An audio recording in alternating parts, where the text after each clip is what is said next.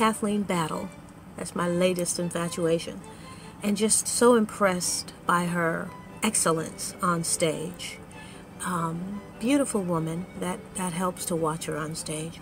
But just excellent at what she does.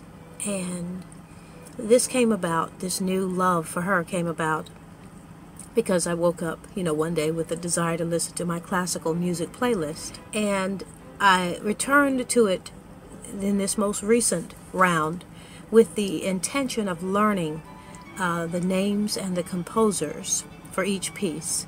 And it turns out that now I have 70 that I've committed to memory. I know now um, not just the musical, the classical compositions that we all hear on radio, television, movies, um, um, Warner Brothers cartoons, but I also now know who the composer is. And often I can tell you the title. Sometimes those titles trip me up. Opus number this, waltz number that, you know. But numbers and I aren't, you know, best friends. So sometimes I get tripped up on the titles, but I can pretty much tell you all the titles, certainly the composers. I added a few new ones this week. Samuel Barber and his Adagio for strings, for instance. I added that. Leo Arnaud and his Bugler's theme, which we know is the uh, the introductory theme for the Olympics games, you know. So uh, some wonderful things I've added. Uh, just just wonderful pieces. So I love the playlist. Suddenly I am in love with classical music from Mozart to Carl Orff, you know, and anybody in between, Handel and Haydn, you know, and um, just it's just wonderful, wonderful. I think it's sad that now people are attacking Western culture, and not now, it's been going on for a long, long time, but now it is so very evident people are very open about being anti Western. And what they are actually doing in discrediting um, the, the Johann Strauss, for instance, and um, Mozart, Bach, uh, Beethoven, Tchaikovsky, Lord bless him. Um, what they're doing is is just trying to erase some of the most beautiful treasures the world has received from the minds of creative people. And we cannot let hatred for what a small group of people did influence our or taint our view of, of all of the people who might look like them. You know, the same can be done and said about the uh, African descendants in this country who go about killing one another, slaughtering one another. They're just doing a Hutu uh, against the Tutsi of Rwanda in slow motion. If you kill about 7,000 of your own a year, it's not very long before you get to 1 million, almost 1 million, having been killed by their own so-called brothers. So African descendants today are doing a lot of things that are um, unsavory, not palatable, not healthy for a culture. Uh, going about singing, or, or I should say, shouting rap songs where women are called the B words. Uh, the N word is, is used, you know, copiously. Um, walking around with your underwear showing, the imprint of your buttocks or genitalia exposed to the world.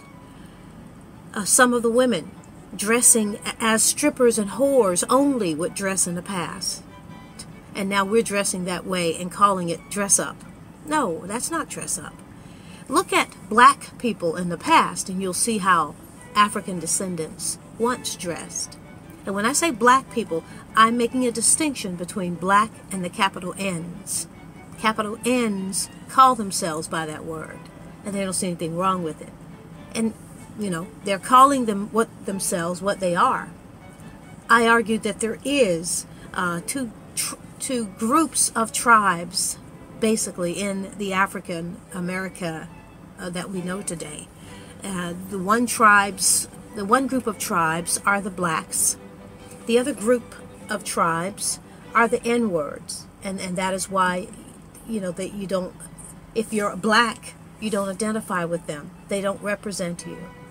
And right now, they are the ones clamoring to be called black, They are the ones misbehaving on a daily basis, killing one another, killing black people, killing other people, these of the capital N tribes. And they are the ones who are saying, oh, black lives don't matter to you. Well, that's not true. Black lives do matter to black people and to other people. What you're really saying is that capital N lives should matter to other people more than capital N lives matter to capital N's. That's what they're really saying.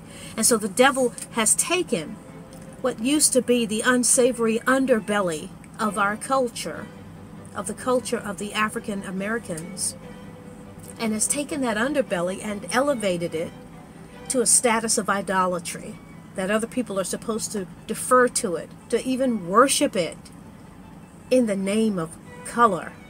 It's absurd. Uh, there are beautiful things that come out of uh, black culture.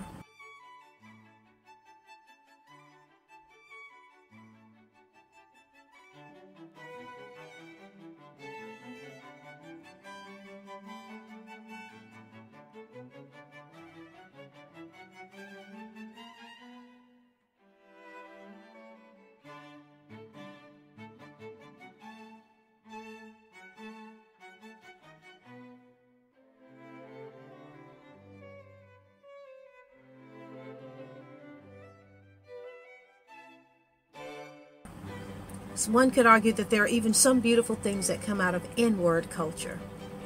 But much of what comes out of N-word culture is contaminating, damaging, and should not be extolled, should not be held up um, as, as something to imitate and something to um, idolize.